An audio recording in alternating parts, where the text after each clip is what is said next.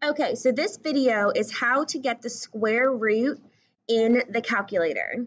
So you're gonna have to press the second button, then x squared, and that's gonna give you the root. So what does that mean? So you turn it on, and then this is the second button right here. It gets you all the little green logos on the calculator. So I'm gonna press that first, and it shows up on the top that I've pressed second. And then down here, x squared, has the root above it. So that's how I get the square root. So let's say I want to do the square root of, I don't know, 20. So square root of 20, enter, gave me 2 root 5. So let's practice. So if you're given an equation or numbers that look like number 1, your calculator will not give it to you all at once if you type the whole thing in. It's going to give you a decimal, and that's not what we want. So I'm going to do this piece by piece. So first, I'm going to type the square root of 5 into my calculator to see if it simplifies. So I'm going to do second, x squared, 5, enter. So notice how the root 5 is still root 5. That means that it, it's, sim it's as simple as it can go. So this right here is just going to be a negative square root of 5. Then let's do the next piece. So we're going to do the 2 square root of 24. I'm not going to put the negative in with it. I'm just going to bring that down in a minute. So 2 square root of 24. So now I have to do the 2 first, then second, x squared to give me the square root, 24, enter. And it gave me 4 root 6, which means this right here simplifies. So this is going to be a 4 square root of 6 but then you can't forget to bring down your minus sign. Okay, let's go and do the next piece. So the next piece is minus a 3 root 48. So we're typing this part in. So first, I'm going to type my 3. Second, x squared, 48. 48, enter. So 3 root 48 actually becomes a 12 root 3. So 12 square root of 3. And then don't forget to bring down your minus sign.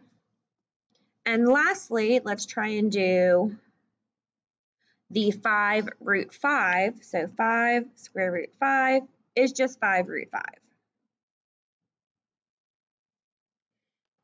Then I have this problem right here. Again, my calculator will not do all four things like this, so I have to decide what I need to do next.